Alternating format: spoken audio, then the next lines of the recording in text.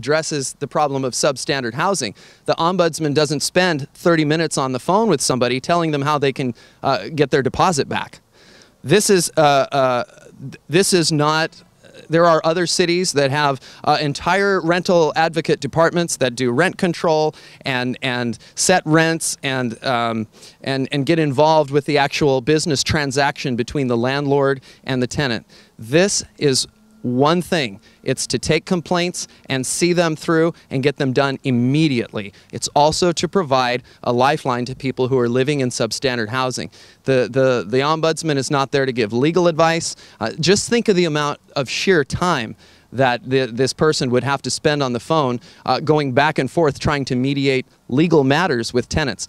We're about getting mold, getting cockroaches, getting uh, uh, exposed wiring, getting plumbing leaks fixed and addressed as soon as possible so people don't have to live like that. say he would have to address their legal concerns, but you said he can't even refer people to anybody. He can't even suggest that you see a lawyer. Okay.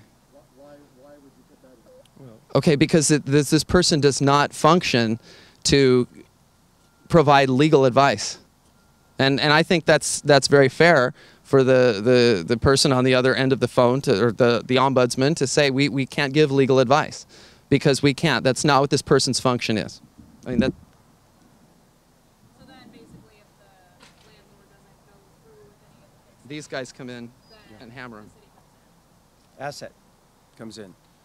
How do you protect against retaliation? Says you don't stand for retaliation. there no specific ordinances in place? Uh, Are there are state laws that protect people from retaliation. And so we, we're already uh, opposed retaliation, and if it happens, we're going to go after them. Does this replace the plan that City Hall's been floating with mandatory third-floor inspections?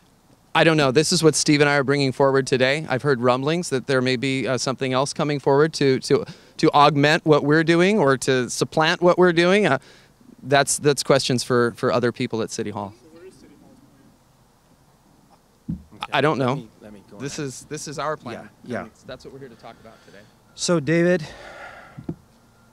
I think it appears to me that City Hall's plan is to talk ad nauseum about mandatory inspections, percentages, um, um, a registry, what they're doing elsewhere, what Nan McKay, an outside party, would do.